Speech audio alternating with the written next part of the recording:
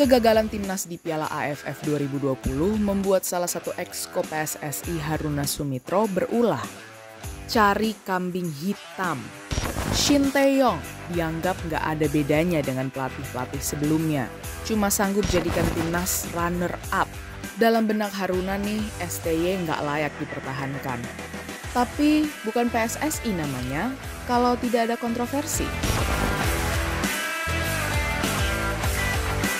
Selisih pelatih dengan PSSI gara-gara prestasi tak memuaskan bukan kali pertama terjadi. Simon McManamy yang disebut juga oleh Haruna berselisih dengan PSSI pada 2019. Penyebabnya, empat kekalahan timnas di klasemen kualifikasi Piala Dunia 2022 zona Asia. Simon pun akhirnya dipecat. Mundur lagi ke belakang, ada Luis Milla. Pelatih asal Spanyol itu gagal buat sukses timnas di laga Asian Games 2018.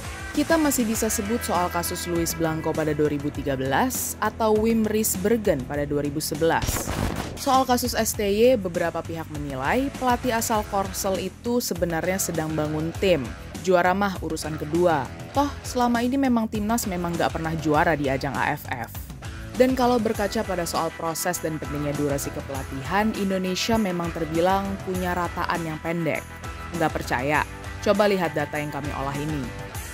Di ASEAN, durasi kepelatihan timnas kita hanya sekitar 9,7 bulan, alias tak sampai satu tahun, dan ada di posisi tiga terbawah. Bandingkan dengan Thailand yang jadi juara AFF kemarin dan total 6 kali juara. Rataan durasi kepelatihannya 18 bulan.